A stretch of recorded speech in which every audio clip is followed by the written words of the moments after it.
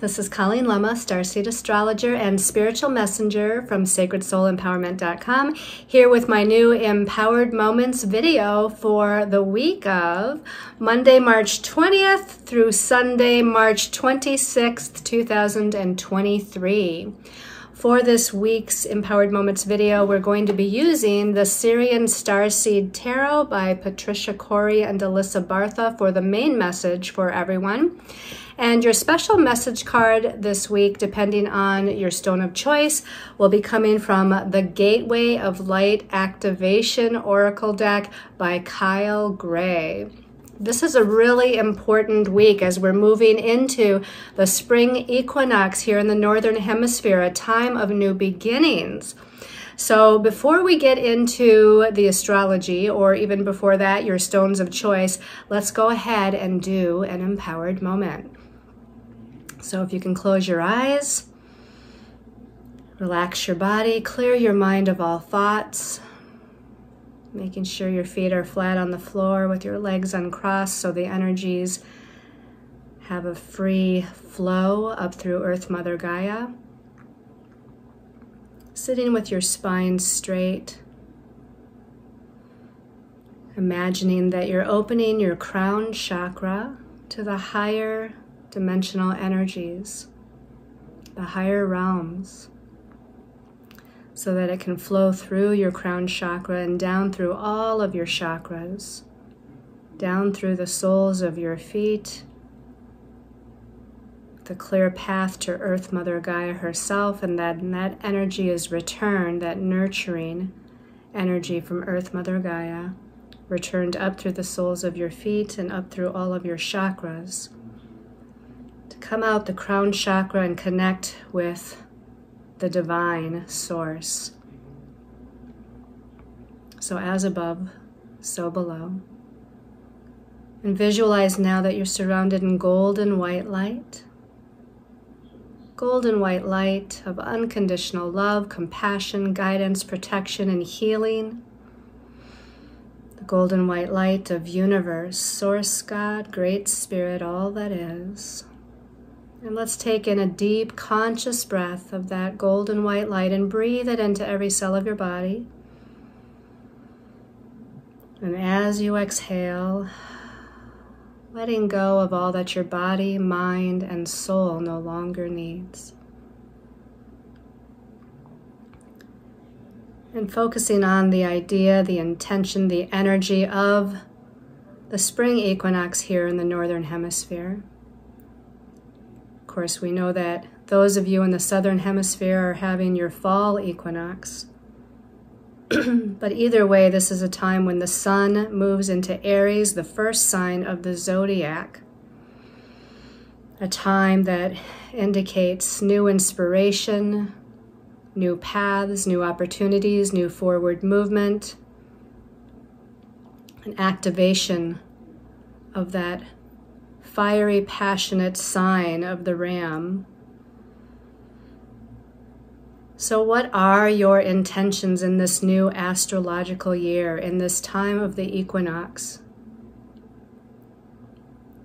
What do you want to create? What do you want to manifest or move towards in the weeks to come? Where do you feel passionate in your life? Where do you feel confident in yourself? Or where do you lack self confidence and where you might need further healing to take place?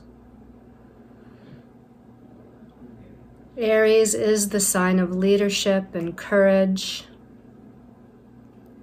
It is the sign of that take charge energy, new beginnings. So focus on whatever intentions you have for new beginnings. Perhaps it's in your health and wellness. Perhaps it's in your job or career. Perhaps it's in your relationships and partnerships. Or perhaps it's within your sense of self and your individuality and self identity. Wherever it is that you would like to initiate new beginnings, send that out to the universe as a positive intention, fueling it with that fiery, passionate energy of Aries. Breathe in those intentions. Breathe in the idea of new beginnings and new possibilities. Breathe in the energy of being energized and revitalized and rebirthed within yourself. And as you exhale, releasing all that your body, mind, and soul no longer needs to carry as we move into this new cycle.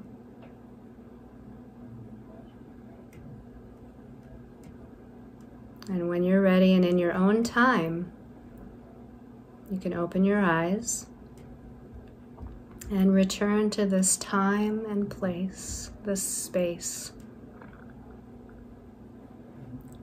Get ready to look at our stones of choice for this week.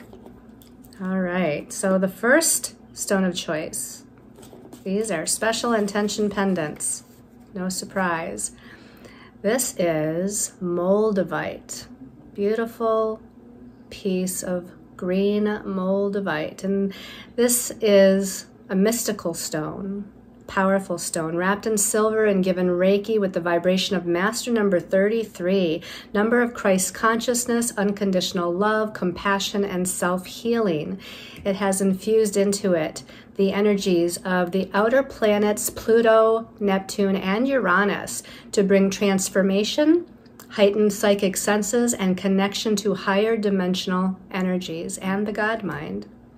The opening of the crown chakra, third eye, and heart chakra to align the higher mind, higher vision, and higher heart and a connection to our star brothers and sisters of the highest vibration of light. This moldavite is the only stone known of extraterrestrial origin and associated with the star card in the tarot, which is about renewed hope, faith, and blessings for the future. And our second stone of choice is a beautiful piece of raw azurite. I had one a few weeks ago that I showed you that had a little bit of malachite in it, but that one is sold. So we found another piece here. And this beautiful azurite is wrapped in gold wire and Reiki charged with the vibration of master number 11, number of psychic vision, clairvoyance, clairaudience, and the energy of the light worker, and the number 8, the number of leadership, prosperity, and abundance. This one has the qualities of Neptune, planet of other dimensions and connection to past lives, planet Jupiter, planet of expansion and blessings. The element of water, which rules intuition, clairsentience, and fluidity.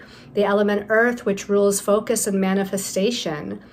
Sacred priestess energies are infused into this, which are about the mystery and ceremonial magic, and they are the guardians of the secret teachings and also Archangel Raziel, Archangel of Divine Magic and Alchemy. All right, and then our last stone of choice. This is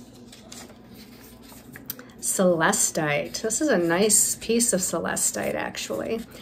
And this is wrapped in silver wire and Reiki charge with the vibration of master number 11, number of the light workers, psychic insights, and perceptions.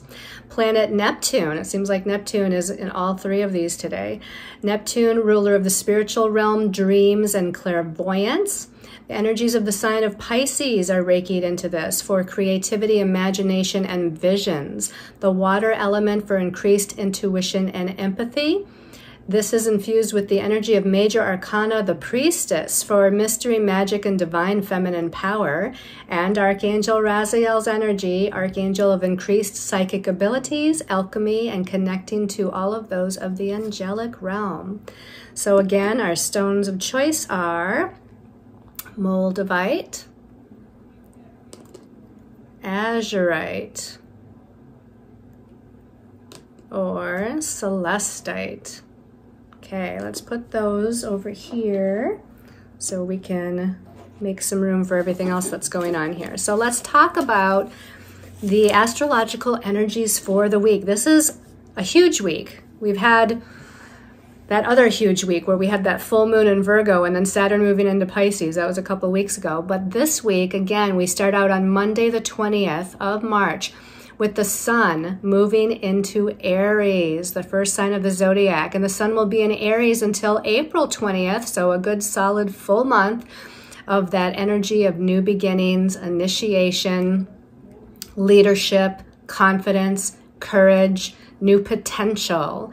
And then the very next day, Tuesday, the 21st, is when we have a new moon in Aries. And the new moon in Aries is at zero degrees Aries. The sun is still in that zero degree point the next day on Tuesday when we have this new moon. So this is a true new beginning. I would say if you're going to do some sort of a ceremony, you could either do it both days, Monday and Tuesday, or I would, if you're going to just do one, I would almost wait until Tuesday when we actually have that new moon at zero degrees of Aries. So, what a sign of true new beginnings, right? Aries is the first sign of the zodiac that indicates that, but the new moon is actually at the zero degree point, that very first degree, which, by the way, means that the next time we have a new moon, it's going to be at the last degree of Aries. Typically, we have a new moon in each sign of the zodiac every month, right? Aries, and then it goes to Taurus, and then Gemini. But because this new moon happens at zero degrees, the next new moon actually, I believe they call it a blue moon because it stays in that same sign of Aries, but now at the last degree of Aries, the 29th degree of Aries, but that will be in about a month that we'll talk about that. So this new moon at zero degrees Aries on Tuesday connects with Mercury. So Mercury, right, has recently gone into into Aries, leaving Pisces behind. So we're fully um, into this new cycle, right? We had Mercury moving out of Pisces and into Aries. Now we have the Sun moving out of Pisces and into Aries.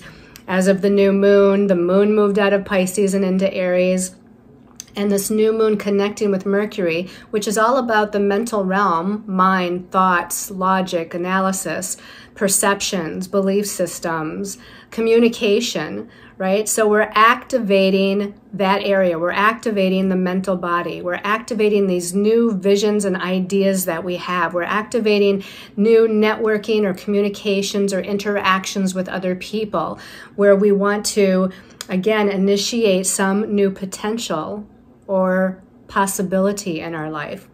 Thursday, the 23rd, we still have some powerful stuff going on here because Pluto, the planet of death and rebirth, transformation and regeneration, Pluto's moving out of Capricorn and into Aquarius. And yes, this is a big deal because Pluto spends 20 some years in a sign. Now, it does fluctuate a little bit. So, Pluto spending its um, years in each sign of the zodiac can fluctuate because Pluto has this elliptical kind of orbit.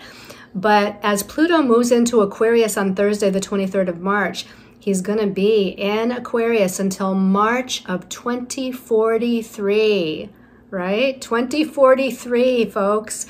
And then it's going to dip back into Capricorn for a little bit at that point, March 2043. It dips back into Capricorn. And then by September 2043, after a few months of dipping back into Capricorn, it's going to move back into Aquarius again. So, this is going to be an interesting time for the collective of humanity. Pluto likes to break down things. Think of Pluto as a volcano where there's things bubbling beneath the surface, and then all of a sudden the magma kind of explodes and bursts out of the, the mouth of the volcano, right? And causes um, well, causes destruction, right? So Pluto is about death and rebirth. Where, where something's ending, Pluto can bring about endings, then there's new beginnings, right? So Pluto in Aquarius is bringing endings and new beginnings in the realm of technology and scientific advancements because those are ruled by Aquarius. So watch and see, especially when it first enters Aquarius, we might hear some sort of news or an event that has to do with technology or advanced, you know, something advancing in, in the medical field or the scientific field. Aquarius also rules humanitarian efforts. So there could be some huge transformation within humanitarian efforts out there on the planet. Now, as far as the breakdown part of it, going back to Pluto and Capricorn, where it's been for many, many years, it's, it was about the breakdown or the breaking down of the patriarchal energies of society, right? Capricorn rules big business and banking and politics and, you know, authority and things of that nature. So Pluto has been, over the years, trying to bring about a death so that there can be a rebirth in those areas of our life. Now it's still going on, right? And because too, a little bit uh, in several years, Pluto will dip back into Capricorn. So it's going to be definitely a slow process because Pluto moves so slowly. So look for some huge um, energies in this week or maybe even into next week. And again, we're in the spring equinox, so it is about new beginnings. But watch and see what might happen out there on the collective level with this shift of Pluto into Aquarius. That that that desires a whole video on its own. So I might just do a, a little uh, video uh, on my YouTube channel just about Pluto and Aquarius. It's that big of a deal. Now, Saturday, the 25th, Mars, Mars is going to shift signs too. So we've got a lot of shifting going on here this week. On Saturday, the 25th, Mars, the warrior planet, planet of energy, action, and forward movement, is finally leaving Gemini, where it's been since late August of 2022. And it was in Gemini so long because of that retrograde motion that it had in the fall of 2022. So remember, Mars is passion, fire, forward movement, warrior energy, right? It wants to move forward and move forward fast, be impulsive.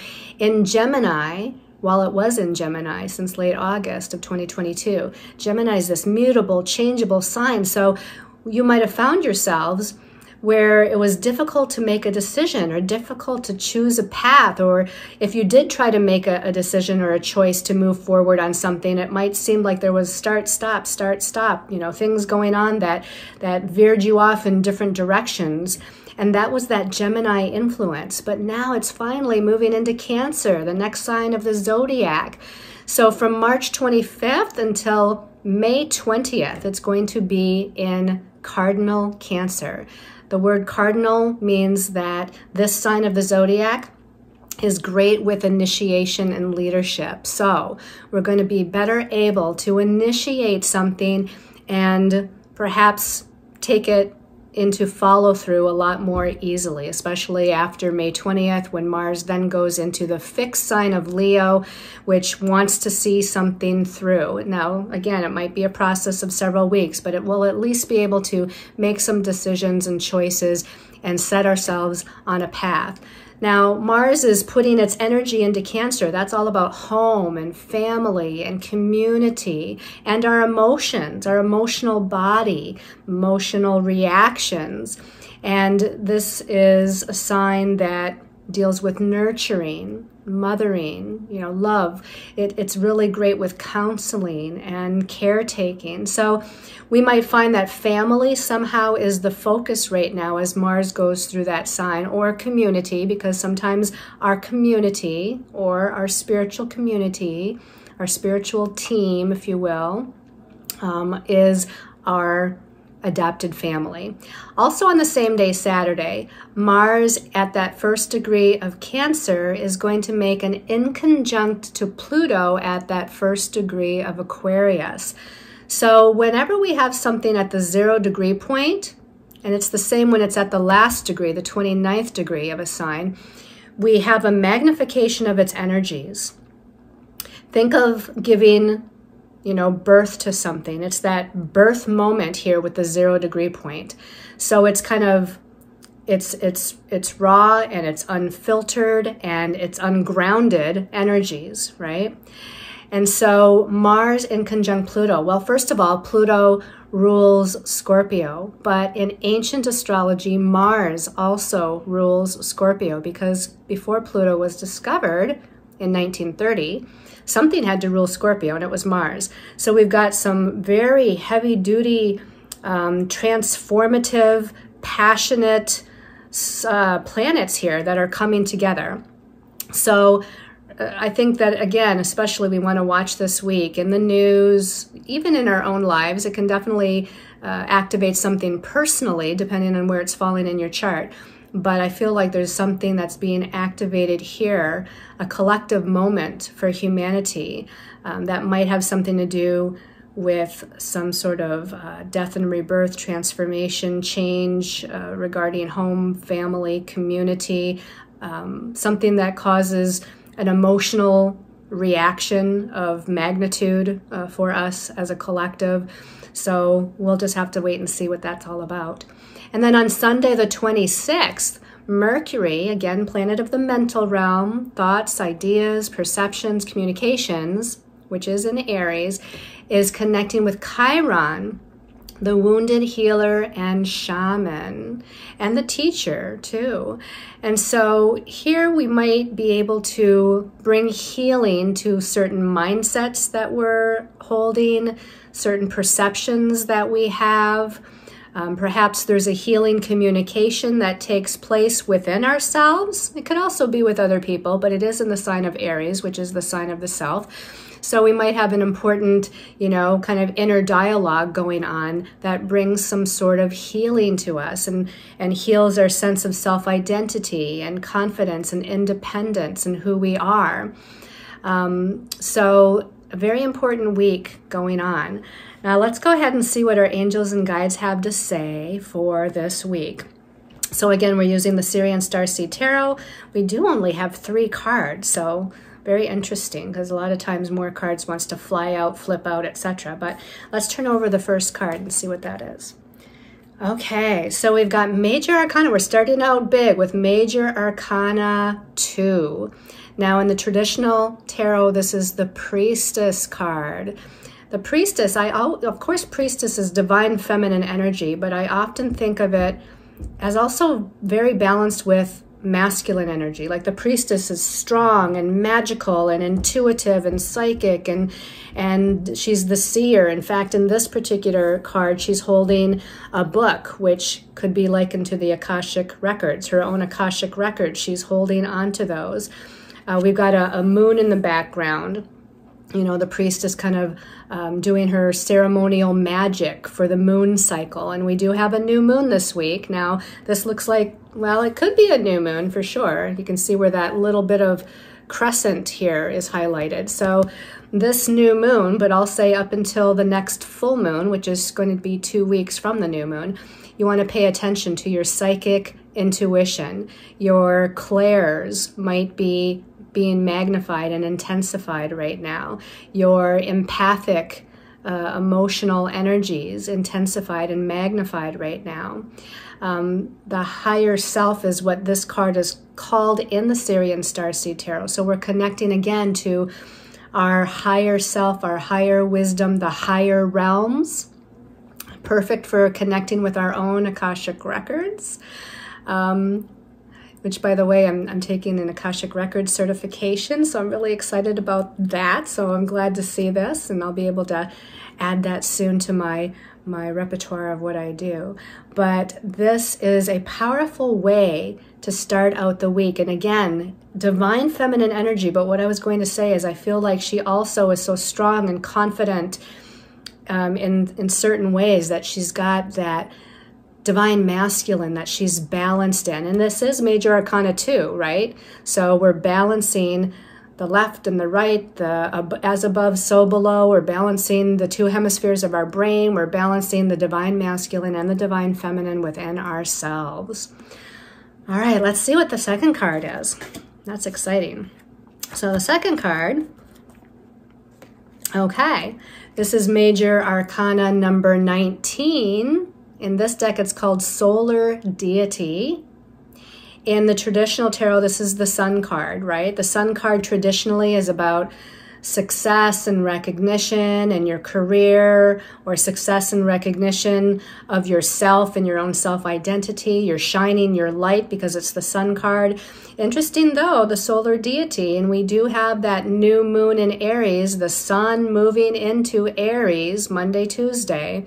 So this seems like it's going to be a big deal. We have a Pegasus here in the middle of the solar deity climbing to new heights, rising to new heights, spreading her or his wings, and being more creative and expressing more confidence, more passion, and more energy towards that next step on their journey. Look at that fiery energy here. Aries is a fire sign. So we're kind of exploding into, if you will, in a positive way, this fiery, passionate, passionate, initiating, confident, courageous sort of energy here with the solar deity. So this is a big deal. So far, we've got this powerful um, priestess of psychic abilities and intuition connecting to her Akashic records and connecting to her higher self and we're also, though, connecting with that fiery, passionate energy of our ego self because the sun does rule the ego. But we're taking it to new heights, right? It's not the lower ego where we're vying for success and recognition. It's that higher version of the ego with the higher self involved here to where we're just raising ourselves up a notch into our own, again, confidence and believing in ourselves and knowing that we can accomplish or do anything. And we're now able to move because Mars this week is moving into a cardinal sign. We're going to be able to move forward into something new and be able to kind of stick on track, stay on track, and move forward with something. We feel excited. You know, that fire energy is excitable. So we're feeling excited, we're feeling enthusiastic, and we can't wait to see what comes next. All right, so far so good. Two major arcanas in a row. Let's see what the last card is. Okay, another major arcana. Powerful week, you guys. This is major arcana 14. In this, it's called alchemy in the Sirian Starseed Tarot, alchemy. In the traditional tarot, this is the hanged man. No, temperance. Sorry about that. I knew that was wrong as soon as I said it. This is the temperance card. And temperance is about having patience. There is a need for patience, right? Where we got Pluto moving into Aquarius, which is a big deal, but it's going to require some patience and time to see what transformations he brings about. And even this um, temperance card called alchemy suggests the same thing. When we when we have this process of alchemy going on, we're transforming one thing into another. We're taking like, it would be like taking two elements and putting them together to create a third element, right? Like, you know, how they would turn lead into gold or, um, you know, when we turn um, water into wine, you know, things of that nature, where we're taking something and we're transforming it, we're alchemizing it, we're raising it to a higher level. Usually alchemy involves the fire process. So here again, we got lots of fire going on here with these two cards, right? The first card was more of a water sort of energy. But now we've got the fire, and that makes sense. Fire, Aries, but water, Cancer, where Mars is moving into. Mars in Cancer is a water sign. So we've definitely got the elements showing up. And this is again, to me, about transformation and regeneration. This is about transforming ourselves on a collective level. Humanity is undergoing a huge shift, right? We're alchemizing ourselves and raising ourselves to a new level. Um, where our, our the vibration of our of our cells in our body and everything about our our lives is just moving. We're moving from third to fifth to higher dimensional levels here. And so it's interesting that we've got that temperance card, but it's called alchemy here. Um, and again, this this transformation is taking place. I'm trying to figure out what this actually is here in the middle. Um, it could be a planet, like Mars is known as the red planet, although it's moving into water sign Cancer. But also, when I look really closely at it, you see those little, like it almost looks like scales. And it reminds me, you know, of the scales of a snake or something. And snakes, as a totem, are all about transformation, regeneration, and death and rebirth. Pluto is about the same energy, same keywords can be applied to Pluto. And then we've got, it almost like looks at the top like it's a tuft of smoke or something. So it's like we've got the fire down here burning away the illusions, burning away the lower vibrational energies or patterns or belief systems or things that we don't need to hold on to anymore. And it's transmuting and transforming and alchemizing into some different form here. And so this is going to be a powerful, powerful week, everyone. And I can't wait to see what happens.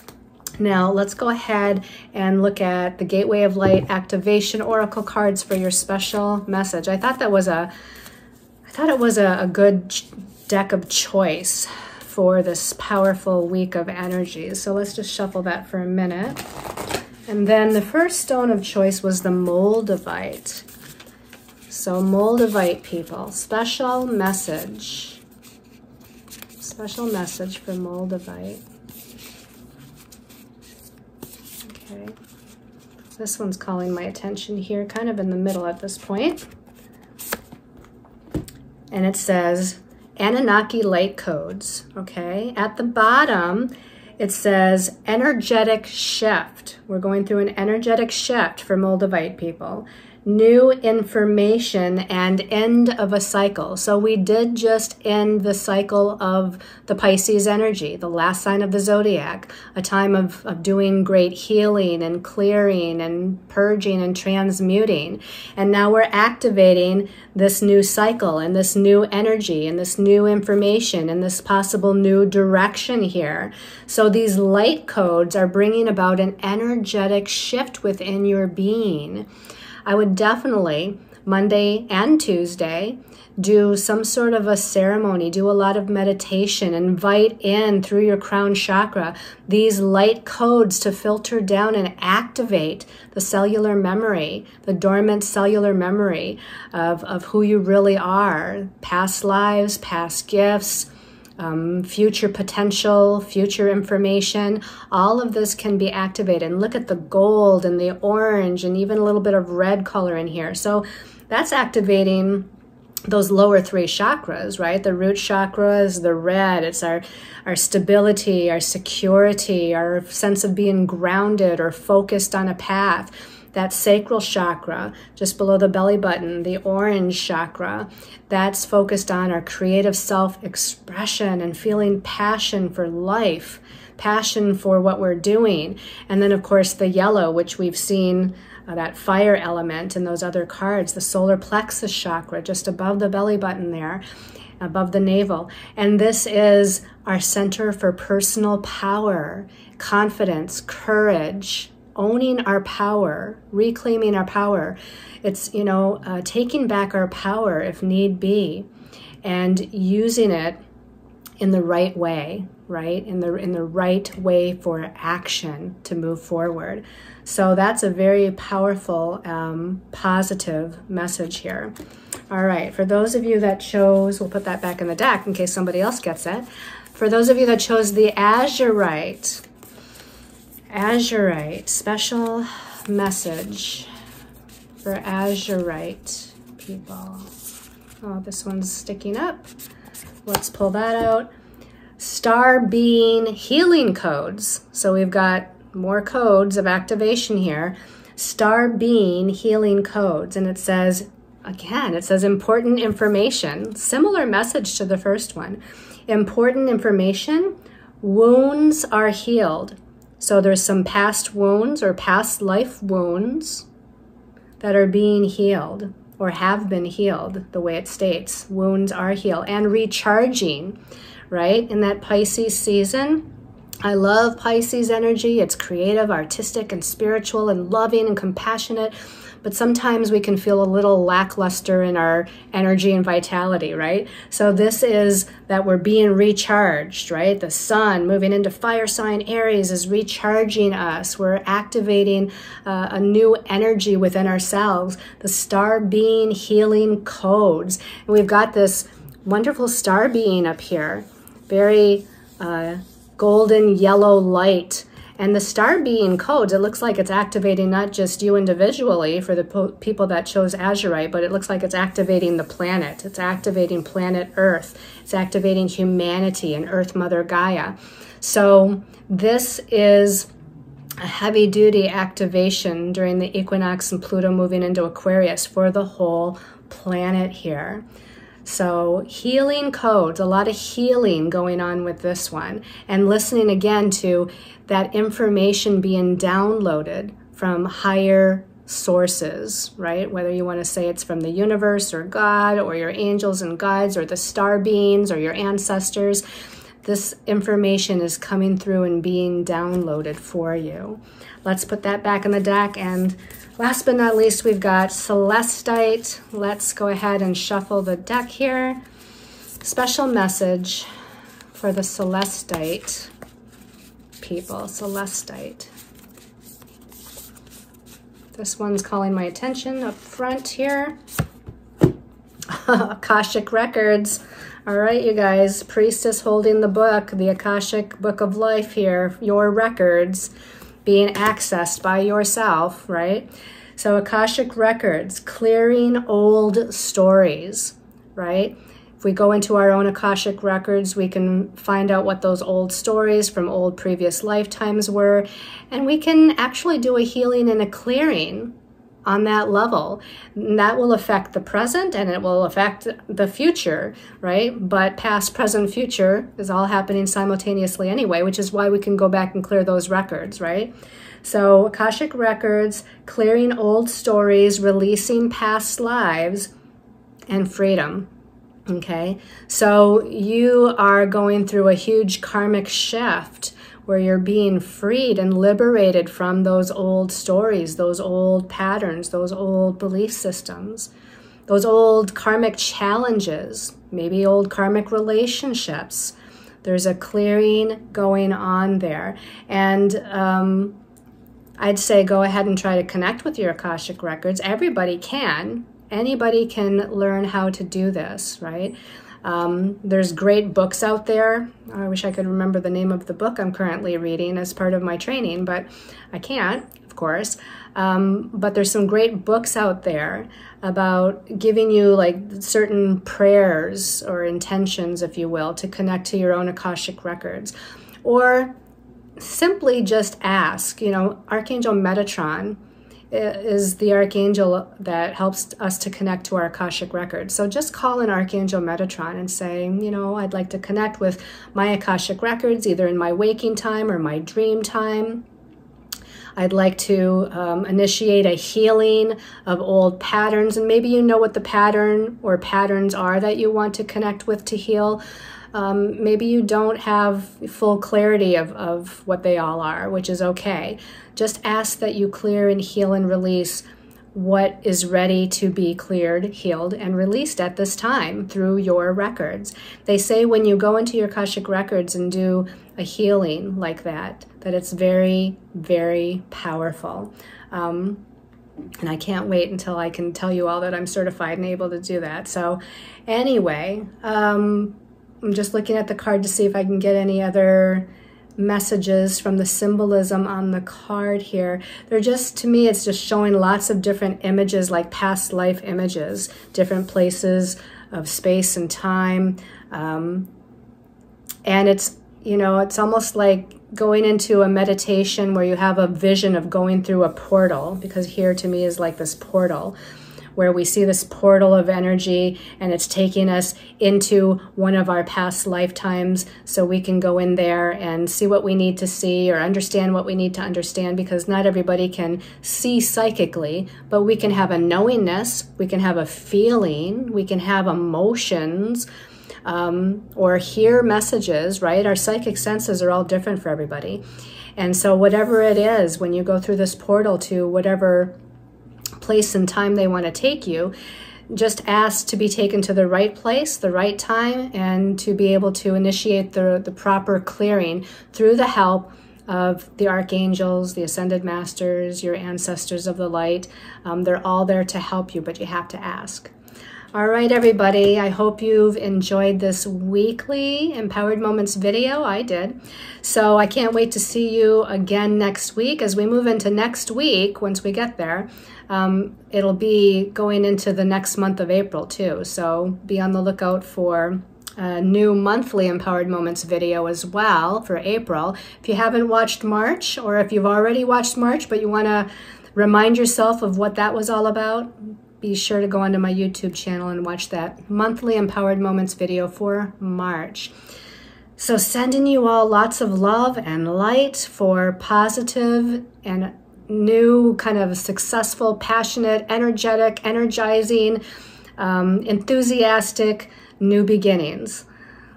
Namaste, everyone.